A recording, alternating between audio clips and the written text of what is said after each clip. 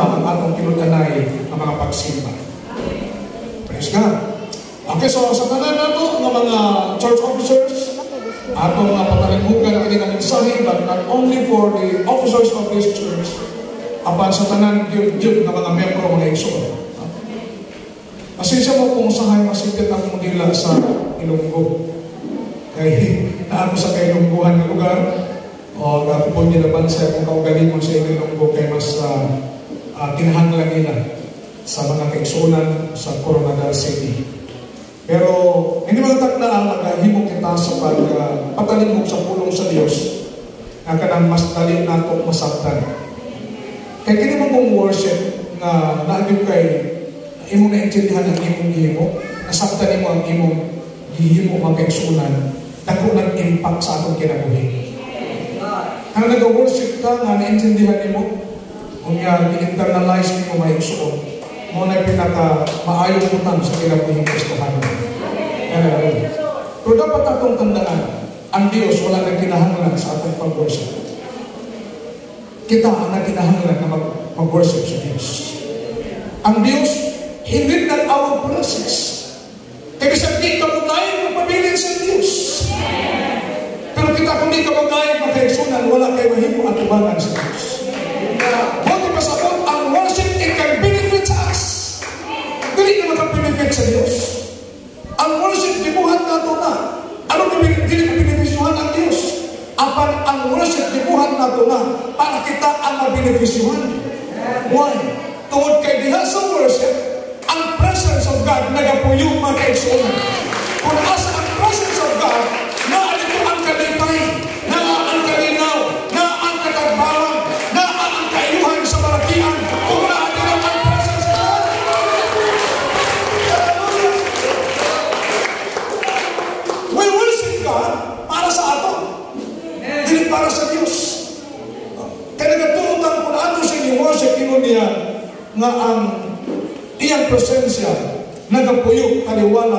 Kaliwala sa iyang mga katawan.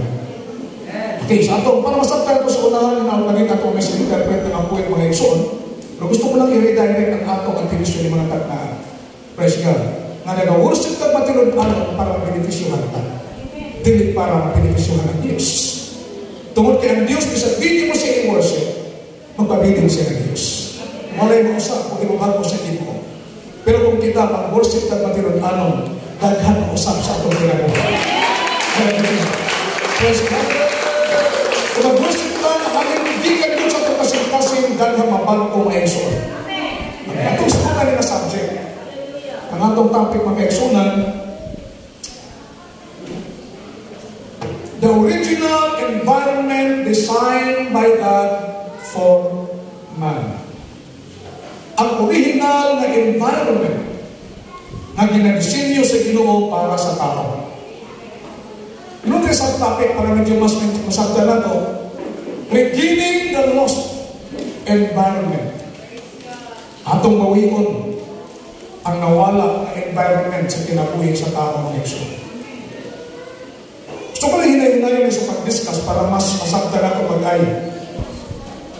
If we study the book of Genesis carefully, thoroughly, and sensorily, it is clearly explained that everything God has created is designed to function within a particular environment that God prescribed for it.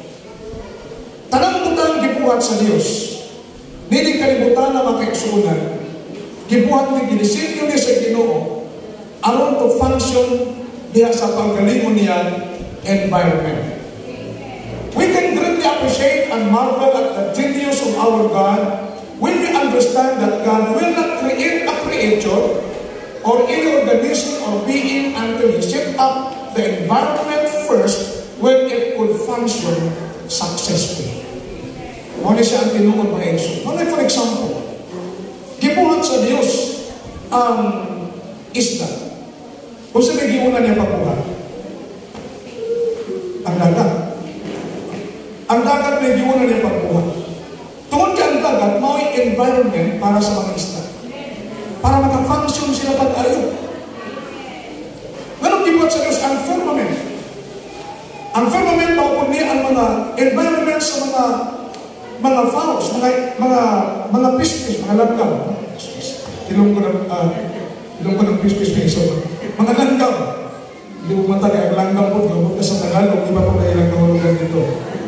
Mga langgam na nagpaldupan sa kahanginan, doon na siya kaugaling ng environment. Kini mga kahoy.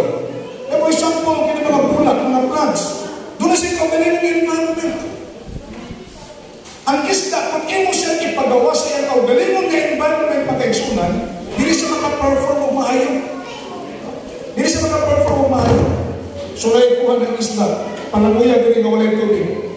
Makalihok mo na kung hindi maka-perform. Kisi-kisi mo na siya. Hindi po siya malipay. O madugay, mamatay na siya. Ano man, kaya naas kiniputan sa lugar, nadilig niya environment. Amen. Tungkol kay ang, ang environment sa isda, kinahanglan sa tubig siya. Kinahanglan sa dagat. Pero ang pagkamaayon sa Diyos, kaya wala pag gibuhat ang isda, gibuhat na sa Diyos ang environment, ang kulianan, ang original na environment sa isda, aron sa pagkakansin o mapuhi o manipay. Praise God. Ang mga plants, gibutang sa Diyos, gihimo niya mga ang bulak o ang tanang mga tanong. Kung sa may una ng gihimo, Dili ang mula, kundi ang yuta. Ang yuta may una niyang gihimo. Kaya ang ginoo siya. O sa may pulos na buhato niya, ang mga plants, o niya, wala yung tanan. Ang nana ang Diyos, ka-genius mga igsoon. O sa may pulos na buhato niya, ang mga plants, na wala siya, dili siya makasustain. O sa gibuhat sa Diyos, giuna niya pagbuhat ang yuta. O iyang gibutang dito ang maong, uh, maong uh, mga plants. Kung ang plants magkaisunan imong iputon, gikan sa yuta, imo siya iseparate. Mapuhi na siya pinalang kauras. Pero wag pag inagnaw o sinimana, mamatay siya, kaya nahimulat siya, gikan sa iyang kaugalingon na environment. So, nani ang sitwasyon mga kaigsunan? Tanong mo tayong gibuhat sa Diyos, tunay kaugalingong environment to function with. Alam sila maka-function maayo, kinahanglan magpabilin sila diha sa kaugalingon na environment. Ang mga, ang tawag na ito makaigsunan, mga mga sa kalangitan, nag-enjoy siya diha sa mga firmament. Sorry, ang tao ibutang sa itaas. Ibalik nagka-function dito. Kis-kisi yung. No? Sorry, kung nag-isda, ibutang niyo mo sa bala. Di ba sigurado na rin sa mga function na ay? So ngayon po ang mga plants, ibutang niyo yung tagalong sa tubig. Dili na sila mabuhay nito kaayo mga igsoon, kay dili ito mawing ilang environment. So God has designed an environment sa matag usa ka creature para siya magpuyog dito o makasustain siya, labaw sa tanan, maka-perform siya sa gusto niya i-perform o labaw sa tanan, praise God, magmalipayon siya tungod kay naa siya nagpabilin diha siya kaugalingong environment. Palakpakan natin si Jesus Christ ng aming Savior. So, tanong mga butang, nasa kaugalingon niya na environment, mga igsoon, na dito siya magapuyok. Ibuhat ko sa Ginoo para nga dito ang maong mga butang ang mga gibuhat sa Diyos sa magapuyok. Mga mga mga uh, mga cattle, mga creeping mga igsoon, tanan, kung nagkaugalingon sila na environment, sa mga insect na kaigsunan, mga, mga mananap, kung nagkaugalingon na environment, na dito sila magpuyok mga kaigsunan. Tungod kay ang environment nga gi-create sa Ginoo mauni ang lugar na mag-enjoy ang tanan niya mga creatures. Now, let's go sa atong situation. Niskutan na mga igsoon ang tao. Sumala sa atong gibasa mga igsunan, nagisbot ni nga ang Diyos na atong gipanalagad mao'y nagapuhan sa tao mga igsoon. But when God uh, when God wants to create man, He did not spoke to the firmament or skies and the land. Ino tato ni. Sa diyang gibuhat sa Diyos ang isda, kung sa may iyang gika-communicate, sa may iyang istorya, Iyagiingnan ang dagat nga mag-produce ng mga isda. So he's talking to the ocean. Communicating dito sa dagat na exo, siya nag-communicate. Tungod kay kinsa itong gina-communicate sa Diyos, mo ito ang iyang environment. Ano itong point? Gistorya sa Diyos ang dagat, tungod ang dagat mo'y environment sa isda. So dali ka na ito masaktan, nga nahimong environment sa isda, kanong di ka istorya sa Diyos. Atong giinan niya ang dagat na produce ka mga isda. Ano man pagka-produce ka ng mga isda, mga ekson. So what if masagot the environment sa maong isda, mao ang dagat. So yan ang mga plants, gipaturog sa Diyos. Kinsa na gi-communicate sa Diyos. Ang gi-communicate sa Diyos, ang yuta. Let the ground, ang mga paturog siya, ang mga, mga plants. Let the firmament, mga produce siya, usap o mga fauna na air. Sumuti masabot, ang iyang ika-communicate during creation, mo ito'y iyang kaugalingon nga environment. Nang pero sa tao, kinsa man ka istorya sa Ginoo, sa iyang gi-create nga makaigsunan ang tao. Kaya ang, ang dagat, environment sa isda, tungkol kay ang dagat mo ay istorya sa Diyos. Ang yuta, environment sa mga plants, tungkol ang yuta mo ay istorya sa Diyos. Sa creation of man, also may atong original na environment. Kinsa man ang iyang gika-istorya sa pag-create sa tao. Let us make man in our image after our likeness. Kinakuha niya po yung mga isuot. Ang dagat na yung environment sa isda ay ang dagat po yung istorya ang produce ng isda. Ang plants, ang yung environment sa mga ano, ang yuta, yung environment sa mga plants, kay ang mga plants makaigsunan ang uh, yung istorya sa Diyos ang yuta ay yuta para mag-produce o mga plants. Karon sa creation sa tao, to know that the original environment nga gidesign sa Ginoo sa tao mao ang presensya sa atong Ginoo Hesus Kristo.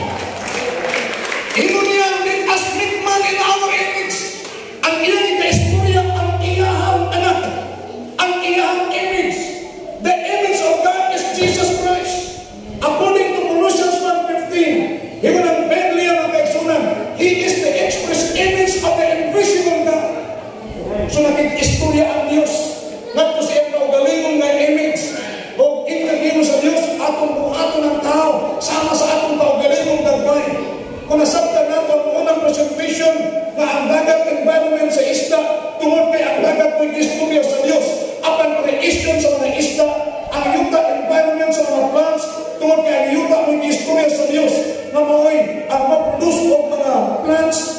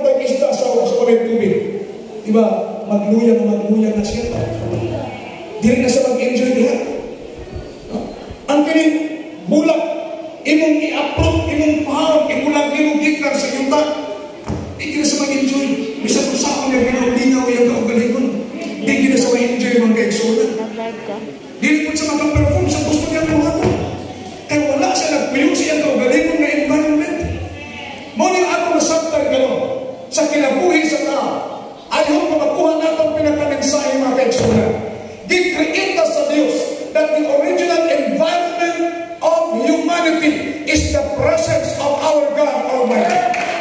Hallelujah.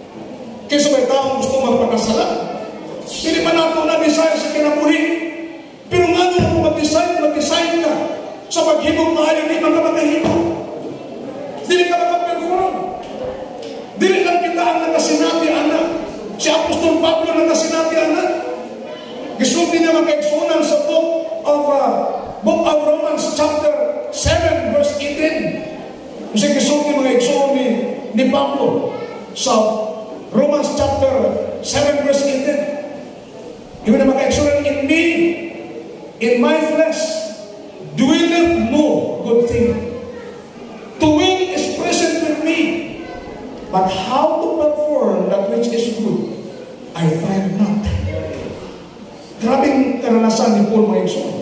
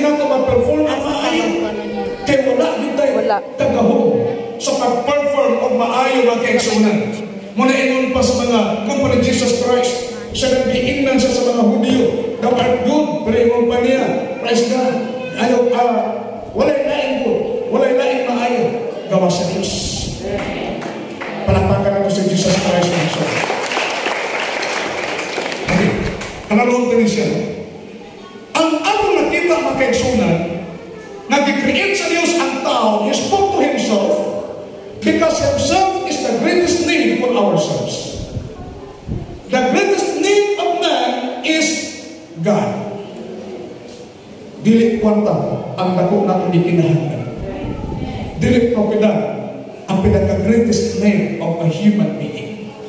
Dili posisyon ang pinaka-greatest need of a human being. Pero ang pinaka-greatest need nato is the presence of God Almighty. Kung ano ang pinaka-greatest need nato, nanong dili man ta, mga budlay, nanong dili man ta, exhort ang talanatong effort mga kaigsuunan. Ako lumaan ko na ang presence of God. No sign of an encounter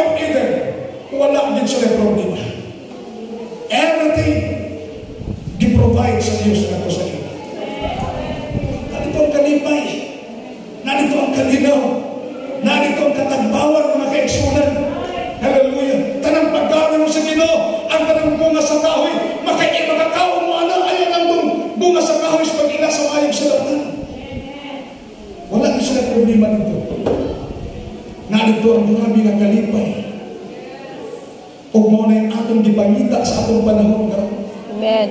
Ano ba kang mga drug addict? E eh, di ba nga nagalang masakit sa kanya? Pero dili sila matabaw bisan kung saan kanasing droga ang ilang pagagamiton. Nang dagang mga tao ang hold up, kanagtuo sila dagang ng kwarta, magmalipayon ko, that's not true. Wala, ginisinyo sa Diyos ang tao mamalipay sa mga utang sa kalimutan. atong kalipay is only. The presence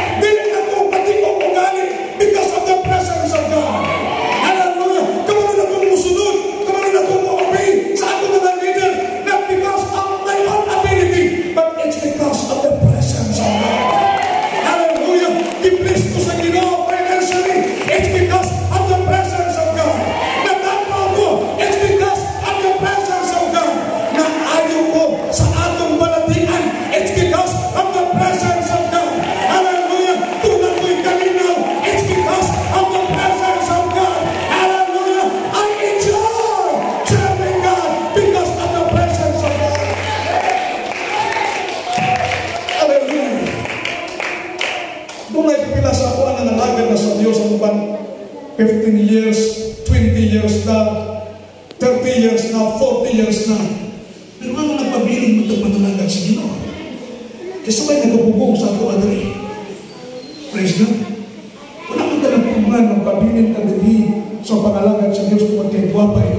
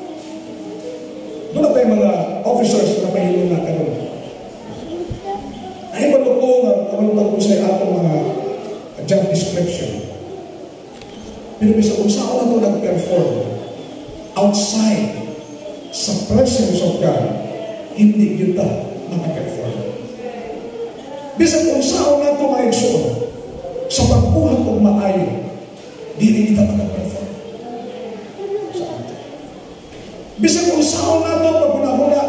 Ano simple lang, simple lang ako ba? Iskuta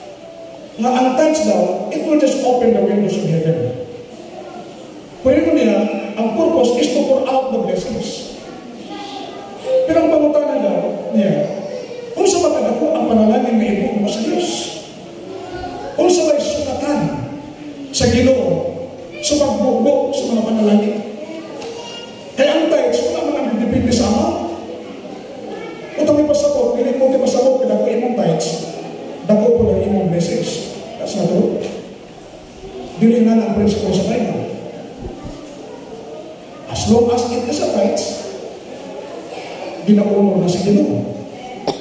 Pag income ka 100, na 15 pesos, yun pa sa Diyos. Kung nag-income ka 1 million, na 100,000, yun niya pa sa Diyos. But in the same level, sa 10 pesos na tais. Kaya tais man. Di mo na pwede mag-20, kaya tais man.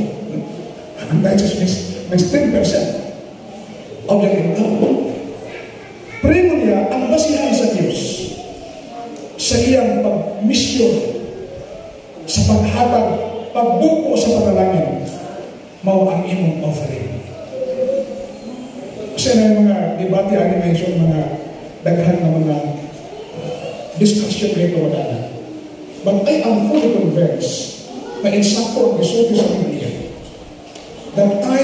He will open the windows of heaven.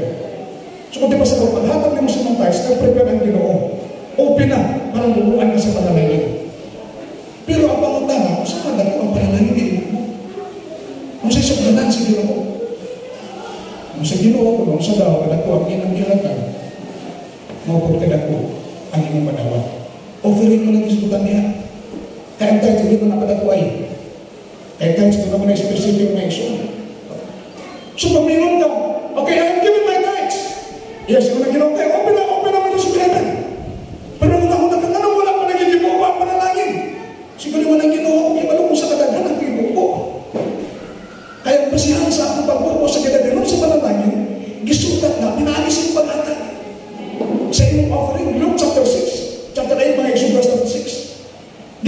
Tawag niya. Give and it shall be given. Dinasok, tinantan, o nag-awas. Na ibalik sa Ginoo nga to sa imong samatan. Kung sa katan po,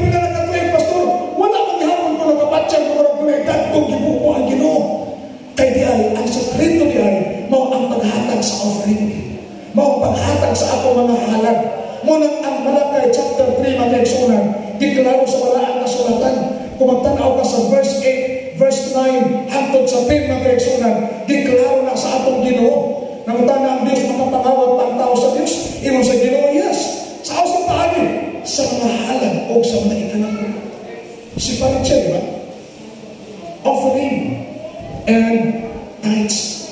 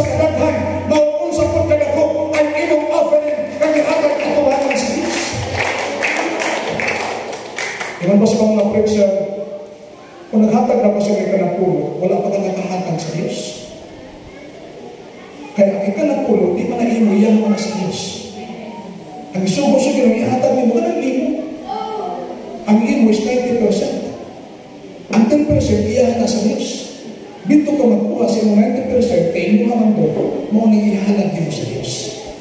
Pagkakahalad ka na anak, sulayan na itong kaisunan. Unsaon dapat bless Diyos.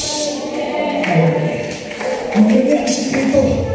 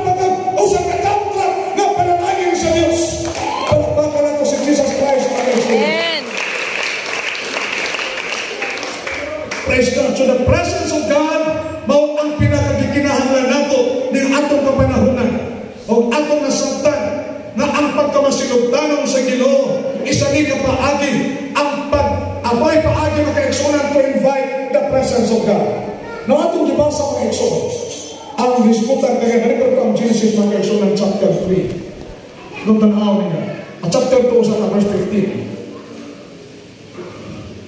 And the Lord took the man and put him into the garden of Eden to dress it and to keep it. Buti pa sabot, kung ang God ang Eden, man's presence of God, o nari nga atong environment, dapat atong alagaan ang atong environment. Kung sa maling gitawag na itong Eden, men's presence of God. Mao na atong environment ang presence of God. Alagaan nato na nga magpabilib kaniya. But after na ang tao na nalapas, nakasala sa Dios, iyang nawala ang environment. Ingon sa ginugdiputang sila dito sa gawas sa ganin sa Eden. Wala na ang presence of God. Muna na po yung ang tao na atunay kasama kasawat, atunay kasugo, walay klarong enjoyment, walay klarong kalipay na kaigsunan. Tungod kay ang tao nagpuyo outside his own environment. Marami imagine nato pareha sa isda na kung ipagawas nimo sa dagat, naglisod siya bisag magginhawa, maglisod siya. Kay dili na ito kaugalingong na environment. Wala siyang kalipay, wala siyang kalinaw. Mauni ang Diyos yang nakita sa tao na ang tao iyang nawala ang environment but here comes ang atong Diyos wala nagpuyo iyang gimahal ang tao iyang gihigugma ang tao iyang gipanandoy na ibalik ang iyang presensya ngunto sa kinabuhi sa tao. Ang pagbalik sa presensya sa Diyos dili na kinahangili na lugar. Dili na sa dito sa, sa garden. Pero ang Eden pwede nang i-restore ang nindot niya ang pag-restore sa, sa Eden when are two or three that gathered in my name then am I in the midst of them bisag naa ka sa balay bisag pusuton ang ato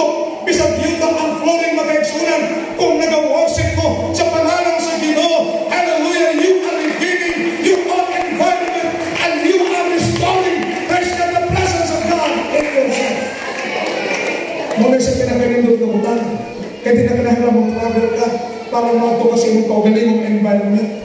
Bisag asa kang napita karon pwede nimong ma-restore ang environment nimo. Ni ata dinhi mga kaigsunan nag-worship ta sa Dios o atong ma-restore ang atong environment which is the presence of the Lord. Hallelujah! O kung naatas imong kaugalingong environment. Nindot ang imong pamati. Nindot ang pagginahawa. Nindot ang pag-function mga kaigsunan nindot pagpabuhat. Linaw ang imong hunahuna. Tunay kalipay ang imong kasing-kasing. Ang tunay katagbawan? Ay imong pagbati mga kaigsunan.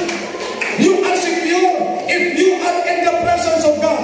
Because that is your original environment designed by. Hindi ba palagpagan ang sumukusog sa Jesus Christ?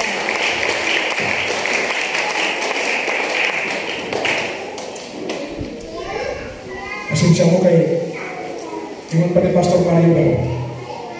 Kani mga batang kung na magwawa ni mga mag-inom-inom ng tubig.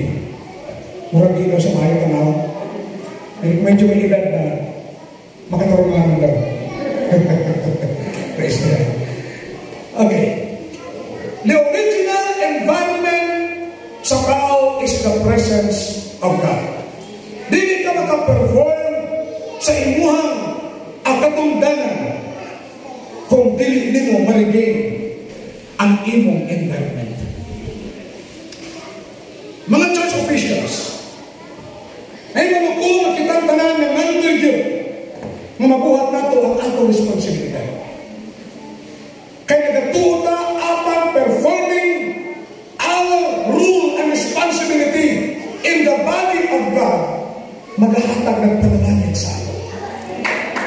Aleluia. É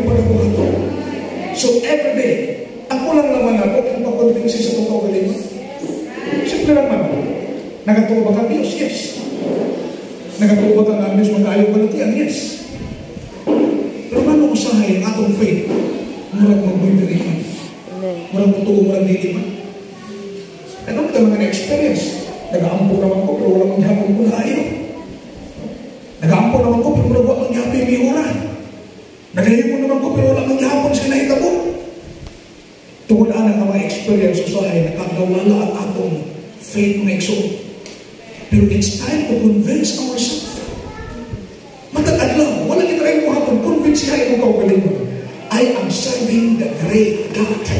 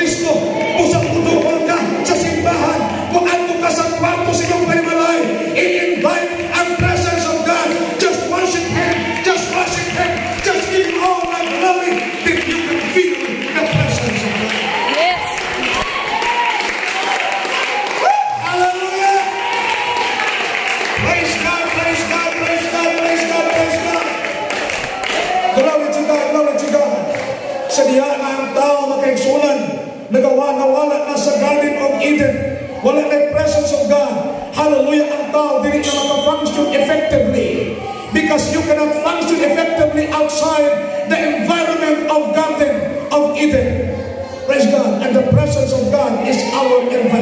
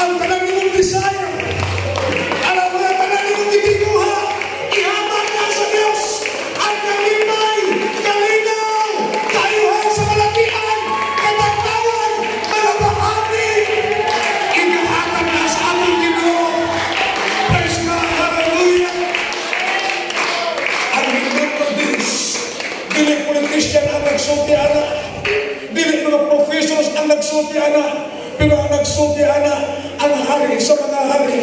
And I believe na my God, na nagtuon ko sa akong Diyos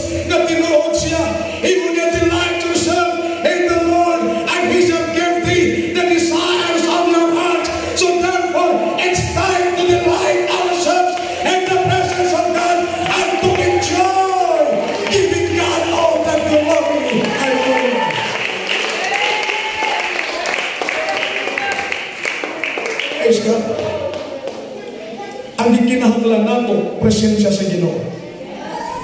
Para maka-perform ta para mahimot ang bubutan. Presence of God. Tungod kay mao kini ang makausap sa ako may iso. Iba na kamatikod ko na yung panahon nga kita, kita mismo makipalumat ba sa itong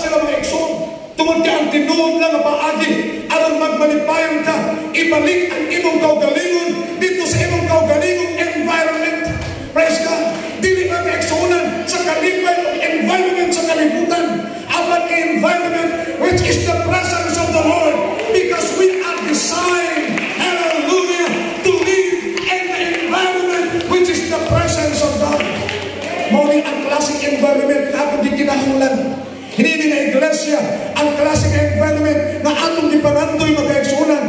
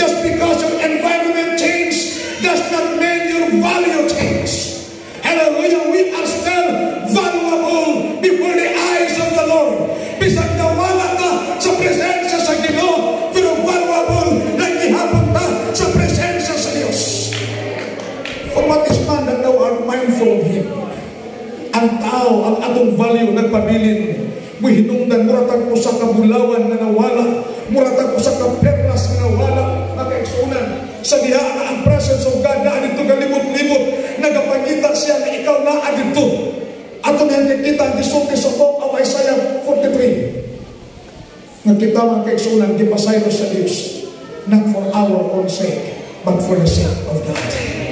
Hallelujah. Dili po ti pasabog dili makapaay gipasayro ta sa Ginoo dili tungod sa atong lang kundi tungod sa gusto sa Dios kay nakita sa Dios na kung pasaylo pasaylupon niya ka makaperform ka sa imong responsibilidad para sa Dios So we hinungdan na iya kang gipasaylo dili tungod sa imong kaugalingon but it's because of God. Muna siya purpose. Nanong di pasaylo kaniya, tungod kay doon ang pagkaibulo hapon. Hallelujah. Nanong di pasaylo kaniya, kay doon ang pasay ipabuhat sa iyo na. Nanong di pasaylo kaniya, kay gusto pa niya na inong mag-perform kini nga butang niya sa iglesia. Gibutang niya kaniya sa iglesia. Doon ang plano ang Ginoo. That was the reason why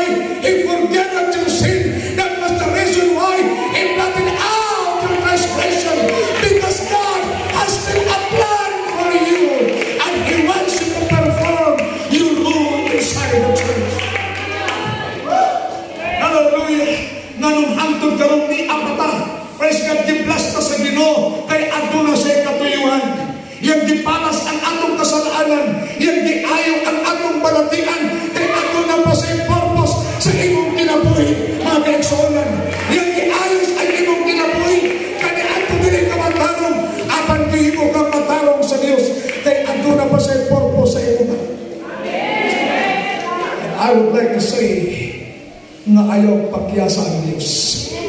Hallelujah. Huwag po natin binuhin ang Panginoon, mga kapatid. Gampanan po natin ang ating mga tungkulin sa harap ng Diyos. Gawin po natin ang lahat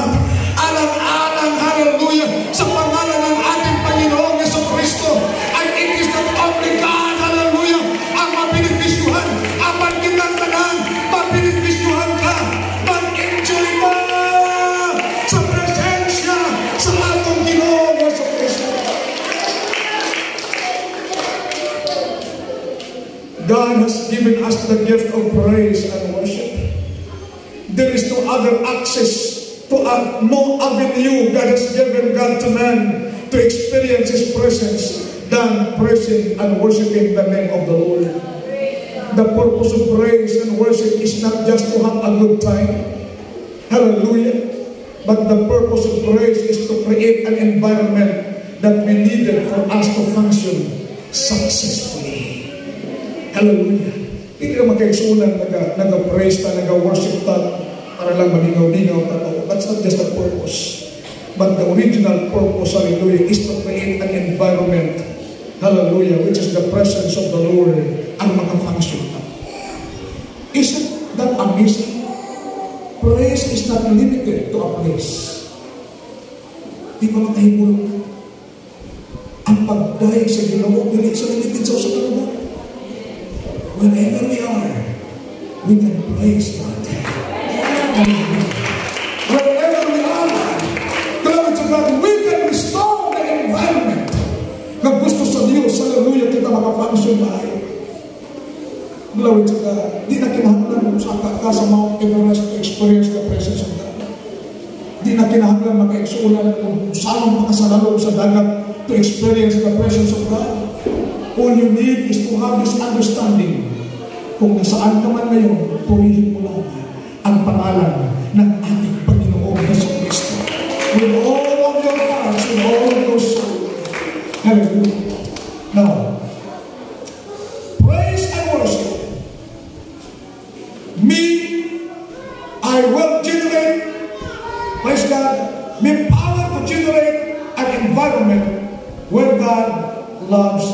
to. Ang pagdayin, tungkol kay ang pagdayin magkaigsunan o ang pag-worship, dunay gahong to generate the environment God loves to be. Remember King Saul, tormented and afflicted. But here comes the anointed worshiper of David. He created an environment where the evil spirit cannot stay.